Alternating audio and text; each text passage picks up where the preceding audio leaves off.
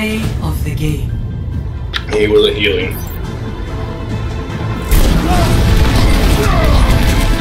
He just sitting there holding his dick.